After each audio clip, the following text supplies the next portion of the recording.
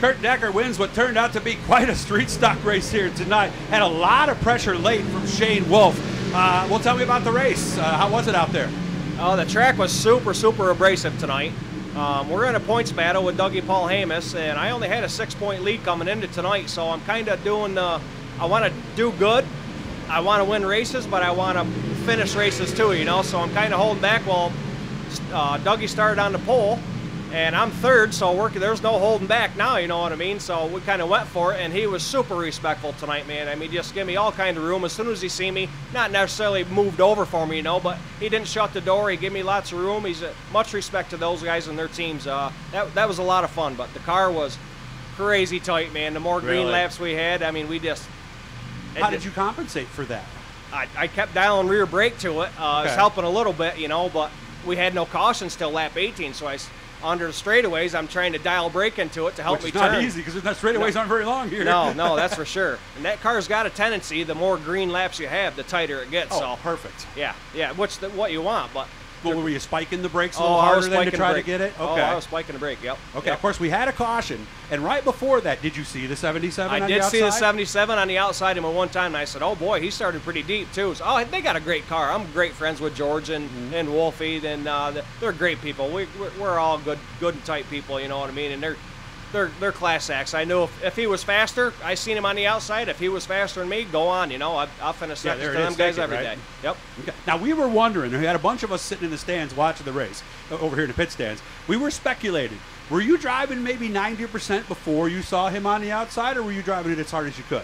Well, I was I didn't see nobody, and I watched the flagger and. Uh, Oh, he does the margin Yeah, thing. Gary. Gary tells you how what kind of a distance you got. You know, relatively.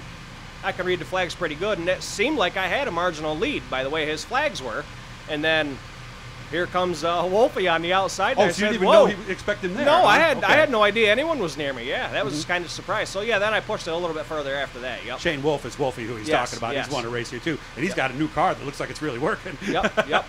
Definitely. So had he started ahead of you, might things have been different? Do you think? I think maybe. Yeah. That's Okay. what. Th- This was a type of racetrack Well, whoever, whoever got there first, and uh, luckily we got there first. What's up for you rest of the weekend now?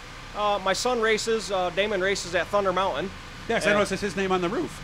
Yeah, I know. He stole my car last year. We didn't get his new car done, so Ah, he stole mine it. last year. So, but uh, but he's been doing very well. We built a new car this year. He's three in a row down row down to Thunder Mountain. We're doing very good. I think he's second in points now. So Wow. he's chasing a points championship as well. That'd be nice if we could both get it. That would be something. huh? Absolutely, that'd be awesome. Yep. So how many members of the Decker family are currently racing now? oh my goodness. Uh, I know that's. I don't know if I don't have enough memory card for this. Yeah, but well, it's me in my shop. There's me and both of my sons race, and then we have we actually have five cars in the shop. Joshy, he's my uh, brother-in-law. He's got a great sportsman. He races, and then uh, Fife Chassis is our chassis builder, and he's holds his car in the garage. And then my brother's got a modified.